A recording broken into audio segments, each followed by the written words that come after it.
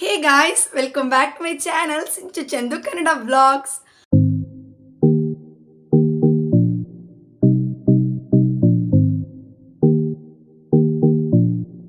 So ಇವತ್ತಿನ topic ಏನಪ್ಪ ಅಂತ ಹೇಳಿದ್ರೆ ಫ್ಯಾಷನ್ ರಿಲೇಟೆಡ್ ಸೊ ಹತ್ತು ಜನ, ನೂರು ಜನ ಮಧ್ಯ ನೀವು ಹೇಗೆ ಕಾಣಿಸ್ಬೇಕು?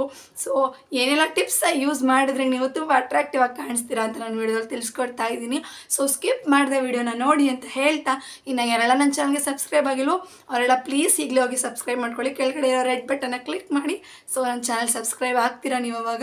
ಸೊ ಈ ವಿಡಿಯೋ ಇಷ್ಟ ಆದರೆ ಪ್ಲೀಸ್ ಒಂದು ಲೈಕ್ ಮಾಡಿ, ಹಾಗೆ ಇನ್ನೂ ಜಾಸ್ತಿ ಜಾಸ್ತಿ ಶೇರ್ ಮಾಡಿ. ಸೊ ನನಗೆ ಅವಾಗ ಮೋಟಿವೇಶನ್ ಸಿಗುತ್ತೆ. ನೀವು ಶೇರ್ ಮಾಡೋದ್ರಿಂದ ಆಗಿರ್ಬೋದು ಲೈಕ್ ಮಾಡೋದ್ರಿಂದ ಆಗಿರ್ಬೋದು.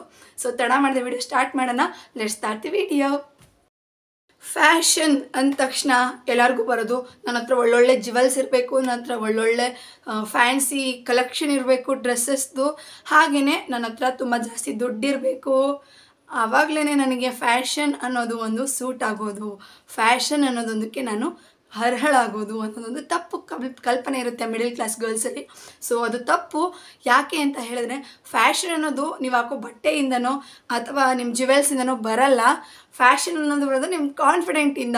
ಸೊ, ಯಾವಾಗಲೂ ನೀವು ಯಾವುದೇ ಡ್ರೆಸ್ ಹಾಕಿದ್ರು ನಿಮ್ಮ ಕಾನ್ಫಿಡೆಂಟಿಂದನೇ ನೀವು ಅಟ್ರಾಕ್ಟಿವ್ ಆಗಿ ಕಾಣಿಸೋದು. ಸೊ, ಇದು ನನ್ನ ಕಡೆಯಿಂದ ಫಸ್ಟ್ ಟಿಪ್ ಏನಪ್ಪ ಇದು? ಡ್ರೆಸ್ಸಸ್ಸೇ ಇಲ್ಲದೆ ಜ್ಯುವೆಲ್ಸೇ ಇದೆ, ಹೇಗಪ್ಪ ನನ್ನ ಫ್ಯಾಷನಬಲ್ ಆಗಿ ಕಾಣಿಸೋದು? ಹೀಗೆ ಹೇಳ್ಬಿಟ್ರಲ್ಲ ಇವರು ಅಂತ ಯೋಚನೆ ಮಾಡ್ತಾ ಇದ್ದೀರಾ?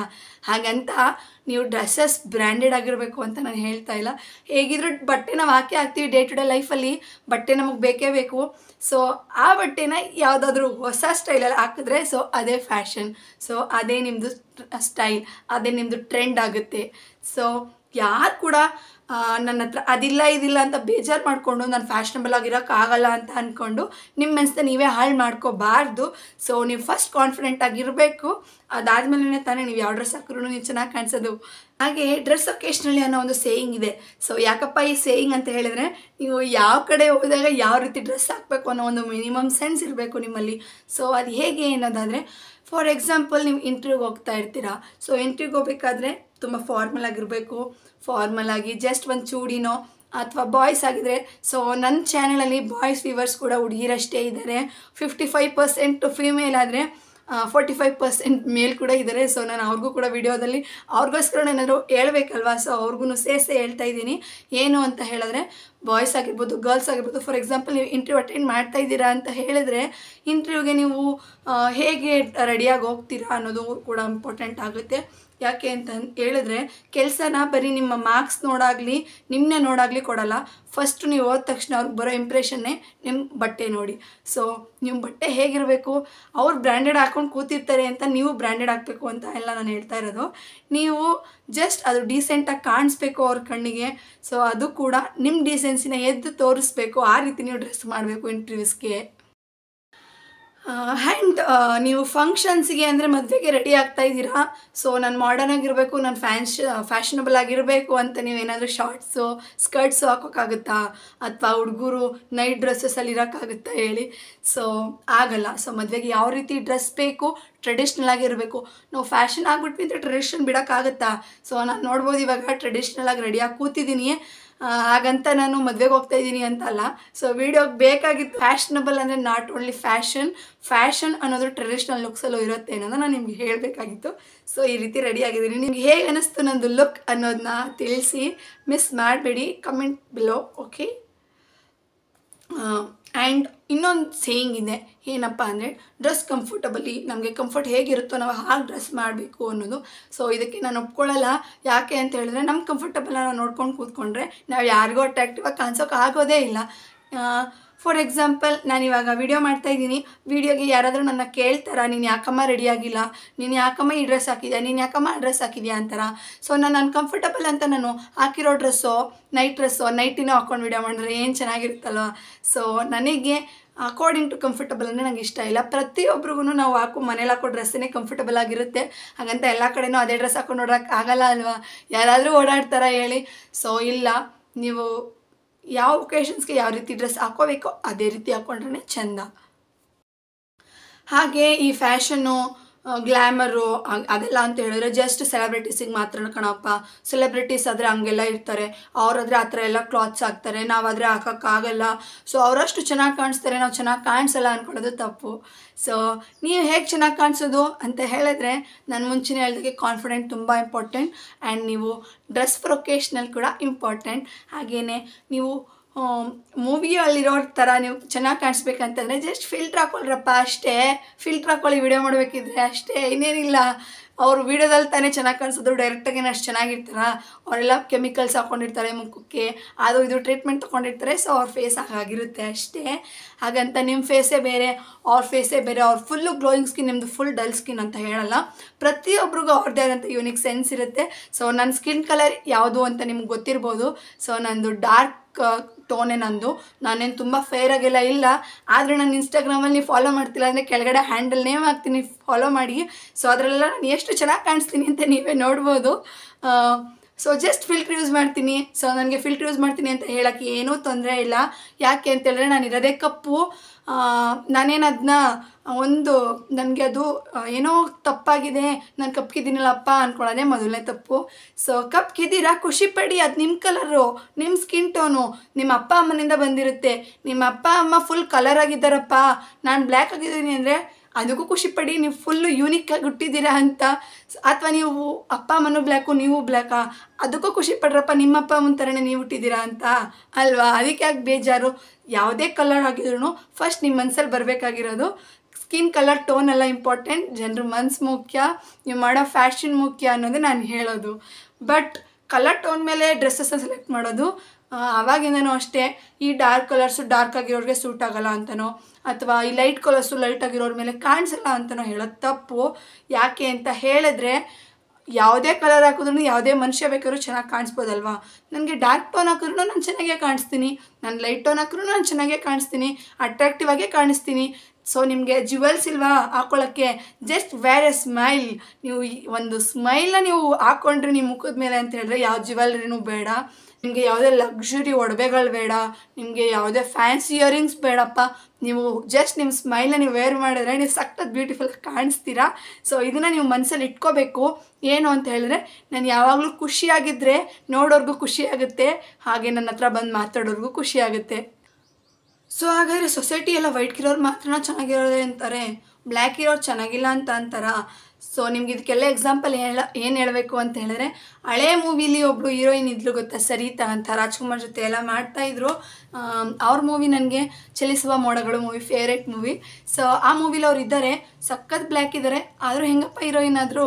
ತುಂಬ ವೈಟ್ ಕಿರೋರು ಇದ್ದಾರೆ ವಿಲನ್ಸ್ ಆಗಿದ್ದಾರೆ ಯಾಕಪ್ಪ? ಯಾಕಾದರೂ? ಸೊ ನೀವು ಅರ್ಥ ಮಾಡ್ಕೋಬೇಕಿರೋದಿಷ್ಟೇ ನಿಮ್ಮದು ಜೀವನ ಆಗಲಿ ನಿಮ್ಮದು ಫ್ಯಾಷನ್ ಸೆನ್ಸ್ ಆಗಲಿ, ನೀವು ಟ್ರೆಂಡಿಂಗ್ ಆಗಿ ಇರೋದಾಗಲಿ, ನೀವು ಅಟ್ರಾಕ್ಟಿವ್ ಆಗಿ ಕಾಣೋದಾಗಲಿ ನಿಮ್ಮ ಕಲರ್ ಮೇಲೆ ನಿಂತಿಲ್ಲ.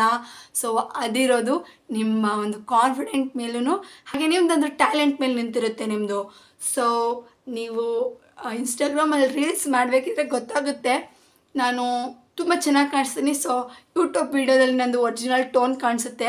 ಏನು ಮಾಡೋಕ್ಕಾಗಲ್ಲ. ನಾವು ಕಪ್ಪು ಹುಟ್ಟಿದ್ದೀವಪ್ಪ ಹಾಗಂತ ಸತ್ತೋಗೋಕ್ಕಾಗುತ್ತಾ ಹೇಳಿ ನೀವೇ? ಇಲ್ಲ. ಯಾವುದೇ ಕಲರ್ ಆದ್ರೂ ಯಾವುದೇ ದೇಶದಲ್ಲಾದರೂ ಉಡಿ ನೀವು, ಬಡವ್ರ ಮನೆ ಮಕ್ಕಳಾದರೂ ಆಗಿ, ಶ್ರೀಮಂತರ ಮನೆ ಮಕ್ಕಳಾದರೂ ಆಗಿ, ನೀವು ಏನೇ ಬೇಕಂದ್ರೂ ಜೀವನದಲ್ಲಿ ನೆಮ್ಮದಿ ಮುಖ್ಯ. ಸೊ ಆ ನೆಮ್ಮದಿನ ಫಸ್ಟ್ ಬೇಕು, ಅದ್ರ ಜೊತೆ ಕಾನ್ಫಿಡೆಂಟ್ ಬೇಕು, ಒಂದು ನಗು ಬೇಕು. ಇದಿಷ್ಟು ಫ್ಯಾಷನ್ ರಿಲೇಟೆಡ್ ಅಂತ ಹೇಳ್ಬೋದು. ಇದಿಷ್ಟು ಮೇನ್ ಟಾಪಿಕ್ಸ್ ಅಪ್ಪ ಫ್ಯಾಷನಿಗೆ ನೀವು ಫ್ಯಾಷನಬಲ್ ಕಾಣಬೇಕು ಅಂತ ಹೇಳಿದ್ರೆ ಇದಿಷ್ಟೆಲ್ಲ ಬೇಕೇ ಬೇಕು. ಆ್ಯಂಡ್ ಫ್ಯಾಷನ್ ಸೆನ್ಸ್ ಇರಬೇಕು. ನೀವು ನಾನು ಶಾರ್ಟ್ಸ್ ಹಾಕೋತೀನಿ ನಾನು ಸ್ಕರ್ಟ್ಸ್ ಹಾಕೋತೀನಿ ಬಟ್ ನೀವು ಮಾತಾಡೋ ಲ್ಯಾಂಗ್ವೇಜ್ ಮಾತ್ರ ಹಳ್ಳಿಯವ್ರ ಥರ ಇರುತ್ತೆ. ನೀವು ನಡೆಯೋ ಸ್ಟೈಲ್ ಮಾತ್ರ ಹಳ್ಳಿಯವ್ರ ಥರ ಇರುತ್ತೆ ಅಂದರೆ ಆಗಲ್ಲ. ನೀವು ಅದನ್ನು ಕೂಡ ಚೇಂಜ್ ಮಾಡ್ಕೋಬೇಕಾಗುತ್ತೆ. ಸೊ ಬೇಡ. ಫ್ಯಾಷನ್ ಅಂತ ಹೇಳಿದ್ರೆ ಜಸ್ಟ್ ಮಿನಿ ಸ್ಕರ್ಟ್ಸು ಶಾರ್ಟ್ಸಿಂದ ಬರಲ್ಲ. ನಿಮಗೆ ಫ್ಯಾಷನ್ ಅನ್ನೋದು ಬರೋದು ನಿಮ್ಮ ನಿಮ್ಮತನದಿಂದ ಸೊ ನೀವು ಚೂಡಿದಾರ್ ಹಾಕೊಳ್ಳೋದ್ರಲ್ಲೇ ಕಂಫರ್ಟಬಲ್ ಚೂಡಿದಾರ್ ಹಾಕೋದ್ರಲ್ಲೇ ನಾನು ಕಾನ್ಫಿಡೆಂಟ್ ಅಂದರೆ ಚೂಡಿದಾರೇ ಹಾಕಿ, ನಿಮಗೆ ಬೇರೆ ಡ್ರೆಸ್ ಹಾಕಿ ನಾನು ಫ್ಯಾಷನಬಲ್ ಆಗಬೇಕು ಅನ್ನೋ ಒಂದು ಯೋಚನೆ ಬೇಡ. ನಿಮ್ಮ ಮನಸ್ಸಿಗೆ ಅನಿಸ್ತಾ ನಾನು ಫ್ಯಾಷನಬಲ್ ಆಗಿರಬೇಕು ಅಂತ ಇರಿ. ಅದು ಖಂಡಿತ ಸರಿ. ಯಾಕೆಂದರೆ ನಿಮ್ಮ ಮನ್ಸಿಗೆ ಬಂದೇ ನೀವು ಮಾಡಬೇಕು. ಯಾರೋ ಅವ್ರು ಹೇಳ್ತಾರೆ, ಇವ್ರು ಹೇಳ್ತಾರೆ, ನೀನು ಫ್ಯಾಷನಬಲ್ ಆಗಿಲ್ಲ ನೀನು ಹಳ್ಳಿ ಗುಗ್ಗು ಅಂತಾರೆ ಅಂತ ನೀವು ರೆಡಿ ಆಗೋಕೆ ಹೋದರೆ ಅದು ನಿಮಗೆ ತಪ್ಪಾಗುತ್ತೆ. ನಿಮ್ಮ ಮುಖದಲ್ಲಿ ಕಾನ್ಫಿಡೆಂಟ್ ಇರಲ್ಲ. ಯಾರೋ ಹೇಳಿದ್ರಪ್ಪ ಹೀಲ್ಸ್ ಹಾಕೊಂಡ್ರೆ ಉದ್ದ ಆಗ್ತೀಯಾ ಅಂತ. ಅದಕ್ಕೆ ಹೀಲ್ಸ್ ಹಾಕ್ತೆ ಯಾರೋ ಹೇಳಿದ್ರಪ್ಪ, ನೀನು ಈ ಕಲರ್, ಈ ಕ್ರೀಮ್ ಯೂಸ್ ಮಾಡಿದ್ರೆ ತುಂಬ ಗ್ಲೋ ಬರುತ್ತೆ ನನ್ನ ಸ್ಕಿನ್ ಅಂತ. ಅದಕ್ಕೆ ಯೂಸ್ ಮಾಡಿದೆ. ಆದರೂ ನಾನು ವೈಟ್ಗೆ ಆಗಲೇ ಇಲ್ಲ. ಇದೆಲ್ಲ ಯೋಚನೆ ಯಾಕೆ? ನಿಮಗೆ ಬೇಕು? ಸೊಸೈಟಿ ನಿಮ್ಮನ್ನ ಇಷ್ಟಪಡಲ್ಲ ನೀವು ಕಲರ್ ಟೋನಿಗೆ ಅಂದರೆ ನೀವು ಟ್ರೈ ಮಾಡಿ. ಬಟ್ ಅದೇ ಜೀವನ ಅಲ್ಲ. ಸೊ, ಅದರಿಂದ ನೀವು ಬೇಜಾರು ಆಗಬಾರ್ದು ಇದು ನಾನು ಅಟ್ರಾಕ್ಟಿವ್ ಆಗಿ ಕಾಣಿಸೋ ಕೊಡ್ತಾ ಇರೋ ಟಿಪ್ಸ್. ಸೊ, ನೀವು ನಿಮ್ಮದು ಫ್ಯಾಷನ್ ಅಂದರೆ ಇದು. ಇದಿಷ್ಟೇ ನಿಮ್ಮ ಫ್ಯಾಷನ್. ಸೊ, ಇದಿಷ್ಟೇ ನಿಮ್ಮ ಸ್ಟೈಲ್ ಆಗಿರಬೇಕು. ನಿಮ್ಮ ಸ್ಟೈಲನ್ನ ನೀವು ಯಾವತ್ತೂ ಕಳ್ಕೊಳಕ್ಕೆ ಹೋಗಬಾರ್ದು. ನೀವು ಚೂಡಿದಾರೇ ಹಾಕಿ, ನೀವು ಗ, ಸೀರೆನೇ ಹಾಕಿ ನಿಮ್ಮ ಸ್ಟೈಲ್ ಇರುತ್ತೆ. ಸೊ ಅದನ್ನ ನೀವು ವೇರ್ ಮಾಡಿ ನಿಮ್ಮ ಸ್ಮೈಲ್ ಇರುತ್ತೆ. ಅದನ್ನ ನೀವು ಹಾಕೊಳ್ಳಿ ಮುಖದ್ಮೇಲೆ ನೀವು ಯಾಕೆ ಅಟ್ರಾಕ್ಟಿವ್ ಆಗಿ ಕಾಣಿಸಲ್ಲ ಅವಾಗ? ನಿಮ್ಮ ಸ್ಮೈಲಿಂದನೇ ರೀ ನೀವೆಲ್ಲ ಅಟ್ರಾಕ್ಟಿವ್ ಆಗಿ ಕಾಣಿಸೋದು. ಸೊ, ನೀವು ಯಾವುದೇ ಡ್ರೆಸ್ ವೇರ್ ಮಾಡಿ, ಯಾವುದೇ ಜಿವಲ್ಸ್ ವೇರ್ ಮಾಡಿ, ಎಷ್ಟೇ ಕಾಸ್ಟ್ಲಿ ಸೀರೆ ಹಾಕ್ಕೊಳ್ಳಿ ನೀವು ಸ್ಮೈಲ್ ಮಾಡಿಲ್ಲ ಅಂತ ಹೇಳಿದ್ರೆ ಸೊ ಯಾಕಾನ್ ನೀವು ಯಾವಾಗಲೂ ಖುಷಿಯಾಗಿ ಕಾಣಿಸ್ಬೇಕು, ಯಾವಾಗಲೂ ನಗ್ತಾ ಇರಬೇಕು, ಆವಾಗ ನೀವು ತುಂಬ ಫ್ಯಾಷನಬಲ್ ಆಗಿ, ತುಂಬ ಟ್ರೆಂಡಿಯಾಗಿ ಕಾಣಿಸ್ತೀರಾ. ಸೊ ಇನ್ನೊಂದು ಫ್ಯಾಷನ್ ಅಪ್ಡೇಟ್ ಫ್ಯಾಷನ್ ಅಪ್ಡೇಟ್ ಅಂದರೆ ಏನಪ್ಪ ಅಂತ ಹೇಳಿದ್ರೆ ಸೊ ಹಿಂದಿನ ಕಾಲದಲ್ಲೆಲ್ಲ ಜಡೆದು ಸ್ಟೈಲ್ಸ್ ಇತ್ತು, ಕಲ್ಪನಂದ್ ಆಗಿರ್ಬೋದು, ಕೆಲವ್ರದ್ದು ಸ್ಟೈಲ್ಸ್ ಇತ್ತು ಇವಾಗ್ಲೂ ಅದು ಟ್ರೆಂಡಿಂಗಲ್ಲೇ ಇದೆ ಬಿಕಾಸ್ ಎವರ್ಗ್ರೀನ್ ಸ್ಟೈಲ್ಸ್ ಆಗೋಗಿದೆ ಅವೆಲ್ಲ. ಹಾಗಂತ ಕೆಲವೊಂದು ಸ್ಟೈಲ್ಸ್ ಇತ್ತೆ ರೆಟ್ರೋ ಅಂತ ಇವಾಗ ರಿಟರ್ನ್ ಬರ್ತಾ ಇದೆ. ಅದೇ ಸ್ಟೈಲ್ಸ್ ರೆಟ್ರೋ ಥೀಮ್ ಅಂತ ಹೇಳ್ತಾರೆ ಅದನ್ನ ಆದ್ರೂ ರೆಟ್ರೋ ಥೀಮ್ ಬರ್ತಾ ಇದೆ ಸೊ ಅದು ಟ್ರೆಂಡಿಂಗ್ ಸೊ ನೀವು ಅದನ್ನ ಟ್ರೆಂಡ್ ಮಾಡ್ಕೋಬೋದು ಅದನ್ನ ಯೂಸ್ ಮಾಡ್ಬೋದು ರೆಟ್ರೋ ಥೀಮ್ ಅಂತ ಅಂತಾರೆ. ಬಟ್ ಅದೇ ನೀವು ಯೂಸ್ ಆಗದೇ ಇರೋ ಫ್ಯಾಷನಬಲ್ ಹಳೆ ಥೀಮ್ಸ್ನ ಯೂಸ್ ಮಾಡಿದರೆ ಯಾರೂ ಇಷ್ಟಪಡಲ್ಲ. ಸೊ ಇವಾಗಿನ ಟ್ರೆಂಡ್ ಏನಿದೆ? ಸೊ ಇವಾಗ ಎಲ್ಲರೂ ಟ್ರೆಂಡ್ಸಲ್ಲಿರೋದು ಫ್ಯಾನ್ಸಿ ಟಾಪ್ಸ್ ಆಗಿರ್ಬೋದು ಈ ಒನ್ ಪೀಸ್ ಡ್ರೆಸ್ಸಸ್ ಅಂತ ಬರ್ತಾ ಇದೆ. ನೀ ಲೆಂತ್ ಗೌನ್ಸು ಸೊ ಅದೇ ಫ್ಯಾಷನ್ ಸೊ ಅದೇ ಟ್ರೆಂಡ್ ಹೋಗಿದೆ ಇವಾಗ. ಸೊ ಎಲ್ಲರ ಹತ್ರ at least four to five pairs ಅಂತೂ ಇದ್ದೇ ಇರುತ್ತಪ್ಪ ಈ ಥರ ಡ್ರೆಸ್ಸು ಸೊ ನೀವು ಯಾಕೆ ಒಂದು ತಗೋಬಾರ್ದು? ಇವಾಗಲೇ ತಗೊಳ್ಳಿ ಅದನ್ನೆಲ್ಲ. ಸೊ ನಿಮಗೆಲ್ಲ ತುಂಬ ಕಮ್ಮಿ ಬೆಲೆಗೆ ಮೀಶೋದಲ್ಲಿ ಸಿಗುತ್ತೆ ಪ್ರಾಡಕ್ಟ್ಸು ಸೊ ನಾನು ಬೇಕಿರೋ ಲಿಂಕ್ನ ನಾನು ಇನ್ಸ್ಟಾಗ್ರಾಮಲ್ಲಿ ಕೊಡ್ತೀನಿ ನಿಮಗೆ. ನನಗೆ ಮೆಸೇಜ್ ಮಾಡಿ. ಸೊ ಅಂದರೆ ತುಂಬ ಕಲೆಕ್ಷನ್ಸ್ ಎಲ್ಲ ಇಂದನೇ ಇರೋದು. ಸೊ ತುಂಬ ಅಫೋರ್ಡಬಲಾಗಿ ಸಿಗುತ್ತೆ. ನಾನು ಕೂಡ ಏನು ಶ್ರೀಮಂತ ಅಲ್ಲಪ್ಪ ನನ್ನ ಗಂಡ ಕೂಡ ಶ್ರೀಮಂತ ಅಲ್ಲ. ಸೊ ನಾನು ಕೂಡ ಅಫೋರ್ಡಬಲ್ ಡ್ರೆಸ್ಸಸ್ನೇ ಹುಡ್ಕೋದು ನಾನು ಕೂಡ ಅಫೋರ್ಡಬಲ್ ಆಗಿ ಇರೋಕ್ಕೆ ಟ್ರೈ ಮಾಡೋದು. ಎಲ್ಲ ಜುವೆಲ್ಸ್ ಆಗಿರ್ಬೋದು, ನಂದು ಎಲ್ಲ ಡ್ರೆಸ್ಸಸ್ ಆಗಿರ್ಬೋದು, ಆದಷ್ಟು ಅಫೋರ್ಡಬಲ್ ನಂದು. ಸೊ ನೀವು ಅದನ್ನೆಲ್ಲ ಟ್ರೈ ಮಾಡಿ. ನೀವು ತಗೊಳ್ಳೋ ಡ್ರೆಸ್ಸೇನೆ ಜಸ್ಟ್ ಇದಕ್ಕೆ ಹಾಕಿ ಅದ್ರ ಬದಲು ಸೊ ಇವಾಗ ಒಂದು ಚೂಡಿದಾರ್ ತಗೊಂಡು ಸ್ಟಿಚ್ ಮಾಡಿಸ್ಕೊಂಡು, ಚೂಡಿದಾರ್ ಪೀಸಿಗೆ ಒಂದು ಐನೂರು ರೂಪಾಯಿ ಕೊಟ್ಟಿರ್ತೀರಾ? ನೀವು ಚೂಡಿದಾರಿಗೆ ಸ್ಟಿಚ್ ಮಾಡ್ಸೋಕೆ ಒಂದು ಐನೂರು ರೂಪಾಯಿ ಕೊಟ್ಟಿರ್ತೀರಾ? ಯಾಕಪ್ಪ ಒಂದು ಸಾವಿರ? ಸೊ ನಾನ್ನೂರು ರೂಪಾಯಿಗೆಲ್ಲ ರೆಡಿ ಸ್ಟಿಚ್ ಡ್ರೆಸ್ಸಸ್ ಬರುತ್ತೆ. ಬಟ್ ಕ್ವಾಲಿಟಿ ಮೇಲೆ ಡಿಪೆಂಡ್ ಆಗುತ್ತೆ, ಇಲ್ಲ ಅಂತ ಎಲ್ಲ ಪ್ರಕಾರ ಸಾವಿರ ರೂಪಾಯಿಗೆ ಎರಡು ಡ್ರೆಸ್ ಸಾವಿರ ರೂಪಾಯಿಗೆ ಒಂದು ಡ್ರೆಸ್ ತೊಗೊಳೋದ್ರ ಬದಲು ಸಾವಿರ ರೂಪಾಯಿಗೆ ಎರಡು ಮೂರು ಡ್ರೆಸ್ ತೊಗೊಳ್ಳಿ. ಸೊ ನೀವು ಎರಡು ಮೂರು ದಿನ ಹಾಕೋಬೋದು ಫ್ಯಾನ್ಸಿಯಾಗಿ ಕಾಣಿಸ್ಬೋದು ಅಂತ. ಸೊ ಇದೆಲ್ಲ ನನ್ನ ಟಿಪ್ಸು ನಾನೆಲ್ಲ ಫಾಲೋ ಮಾಡಿರೋದು. ಸೊ ನಿಮಗೆಲ್ಲ ಇಷ್ಟ ಆದರೆ please don't forget to hit like share comment so ಇನ್ನೂ ಯಾರೆಲ್ಲ ನನ್ನ ಚಾನಲ್ಗೆ ಸಬ್ಸ್ಕ್ರೈಬ್ ಅಲ್ಲ ಪ್ಲೀಸ್ ಇಲ್ಲ ಸಬ್ಸ್ಕ್ರೈಬ್ ಮಾಡ್ಕೊಳ್ಳಿ. ಹಾಗೆ ಪಕ್ಕದಲ್ಲೇ ಬರುವಂಥ ಬೆಲ್ಲೈಕನ್ನು ಕ್ಲಿಕ್ ಮಾಡಿ. ಸೊ ನಾನು ಅಂದರೆ ಯಾವುದೇ ವಿಡಿಯೋ ಹಾಕಿದ್ರೆ ನಿಮಗೆ ನೋಟಿಫಿಕೇಷನ್ ಬರುತ್ತೆ. ಸೊ ಹೀಗೆ ನಿಮ್ಮ ಮನೆ ಹುಡುಗಿನ ಸಪೋರ್ಟ್ ಮಾಡಿ ಅಂತ ಕೇಳ್ತೀನಿ. ಬಾಯ್ ಬಾಯ್